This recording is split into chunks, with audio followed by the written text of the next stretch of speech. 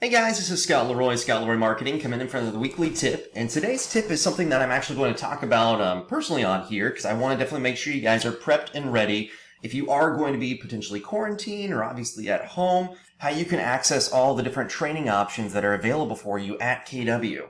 Now, obviously, we have our training classes as well that are every Tuesday through Friday at 1 p.m. Eastern Time. You can actually access those by going to slmwebinar.com. And that'll take you directly over to join.me on here, and you'll be able to see where you can access our training classes. All right, but more importantly, if you want to access any of the KW Connect classes, to access KW Connect, you have two options. You can go to access.kw.com, and I'll sign in with my username and password like I typically would. All right, now this is going to take you over to the MyKW intranet at the end of the day. And once you're on the MyKW intranet, like I am currently, right, then I can actually hover over home up here in the black bar and go to KW Connect. Or you can always go to education and that'll take you over to the KWU page on KW Connect. All right, so once again, going to kwconnect.com is another option too, because that'll auto sign you in. Now, once again, this is going to show the latest videos KW has come out with in tech.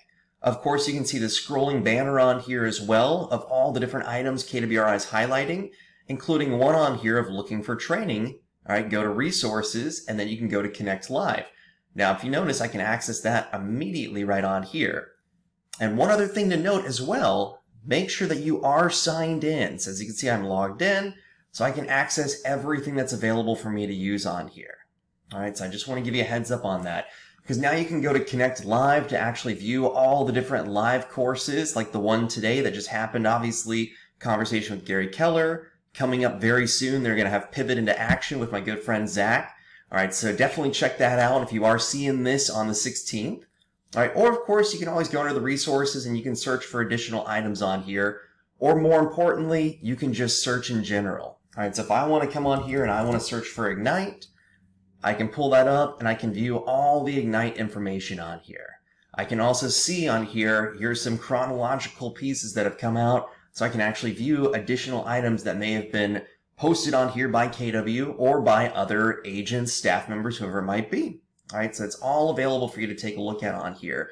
And as you can see, when you're searching for it, you can search by videos, audio, users, documents, so on and so forth to access this immediately.